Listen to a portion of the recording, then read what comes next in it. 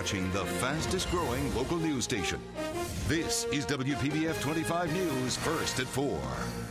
Thank you for staying with us. I'm Felicia Rodriguez. And I'm Angela Rozier. Palm Beach County under a state of emergency, all because of the oil spill crisis in the Gulf of Mexico. The governor's declaration means our area will be able to get money for possible damage and cleanup. And Kathleen O'Toole joins us live now with the very story. Well, the federal government has long had area contingency plans for an oil spill, but a Boca Raton company is already working with some Florida counties to make sure those plans are good enough.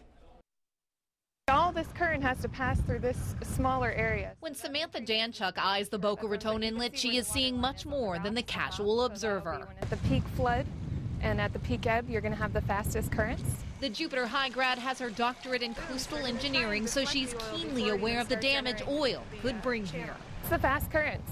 Um, and the faster the currents are, the more likely that oil will be forced underneath the boom. Danchuk works for Boca based Coastal Planning and Engineering, a company that's already helping some counties develop oil spill backup blueprints that go farther than federal plans. What we're finding is that in areas like inlets where there's fast currents, um, there, the boom plan may not be sufficient. Once you're declared an emergency, then you can actually uh, develop a local plant that supplements the BP plant. Company President Tom Campbell says municipalities can take advantage of the state of emergency for planning before it's too late. The first place to be hit probably get tremendous response because all of the all of the forces will go there.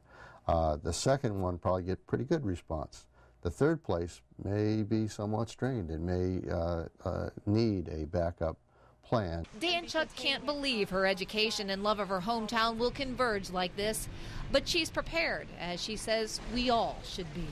Take all the knowledge we have and, and put together the best response plan. Now, the company is already helping Okaloosa and Bay counties fine tune their response plans because of this oil spill. They've just added Longboat Key to their list of clients. In the newsroom, Kathleen O'Toole, WPBF 25 News.